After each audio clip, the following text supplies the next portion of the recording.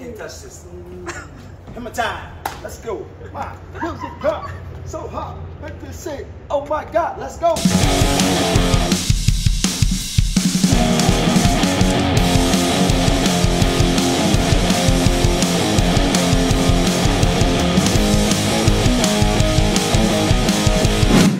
I didn't get the win tonight. Uh, tough fight. And so yeah, so yeah. But it's okay. yeah. For sure. I feel like I'm just like No, that's emotionally okay, it's okay. dumping. Maybe Yeah, it's it's all good. A lot of people like I guess went out of their comfort zones and hung around until the very end to say hey to me after the fight, which is really nice.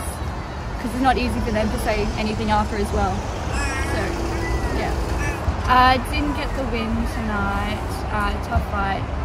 I um started slow in the first round and then kept it slow in the second and third round, and I was kind of um, definitely battling in my head a little bit. Um, but yeah, fourth and fifth round, I really went for it and gave it a lot more effort, I guess. Yeah. Um, and so finished strong, but I wish that I did that in the beginning. She was strong and she landed a few good, like really good, clean, like teeps to the head and and I think I just got a bit a bit shocked and flustered. And then because it hurt, I was like battling in my head about whether I wanted to be there or not. It- is in her. She does have it in her to like to push and keep fighting, even when things are like the momentum is clearly not in her favour. It's like to come back and I believe win the last two rounds after it being getting like it just slipping further and further from her grasp. You don't often see that. Yeah. Um, so yeah, I'm quite I'm quite proud of that. I'm, I'm just I'm just happy that she has that that to uh, to finish it. You know, to, to finish the fight. That she she finished on that note. It would be way I would you know I believe she would be more upset if she won the first three and got smashed the last two. Yeah. So, and even if that meant winning, if she won the fight, won the first three, but smashed the last two, this is a better outcome. Losing, but really coming home strong after getting getting a bit of a hiding in rounds two and three. So, I'm happy. I'm happy with that at least.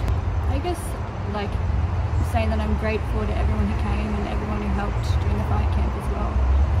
Yeah, I'm really thankful that there were so many people there and so many people willing to help, like with the salt bikes and stuff. It's really good. We have a good team.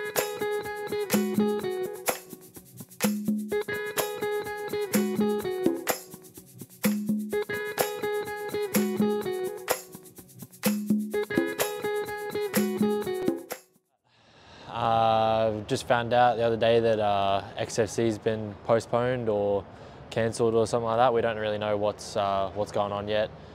Obviously, still staying in camp. It could be in a few weeks. Could not be until the next event, which I think is in like August or something like that.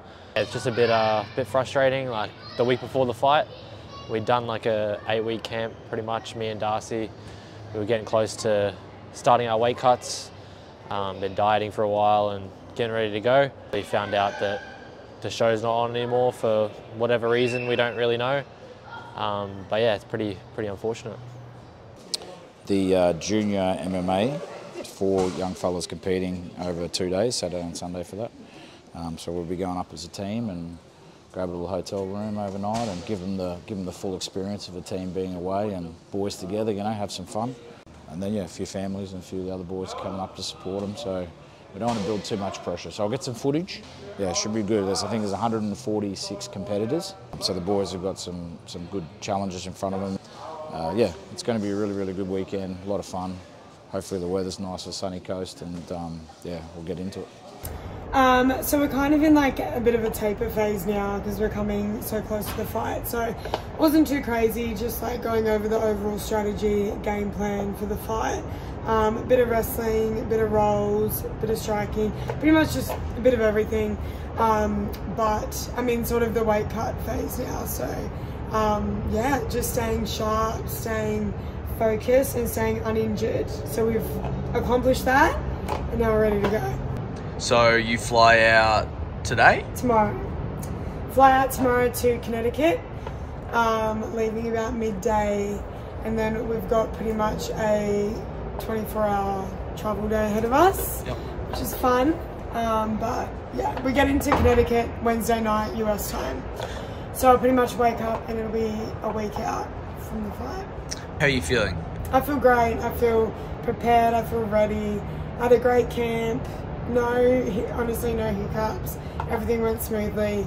Um, and yeah, I'm just, I'm really excited for the opportunity. Uh, I predict a knockout. Um, any round, but it, there will be a knockout by me. I'll see ya Yeah, it's in about a week, eh? on Monday. Yeah. Yeah. Yeah, yeah, yeah. I arrive on Monday, don't I? Yeah. Yeah. We leave here Monday night, so we'll see you Monday night, US time. Sweet. Yeah. Alright. See ya. Bye. Bye, Charles. then.